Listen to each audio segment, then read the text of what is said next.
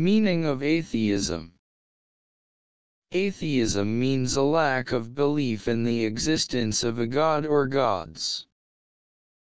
For example, the man atheism was a surprise to his family members who were devout Catholics and wholeheartedly believed in God.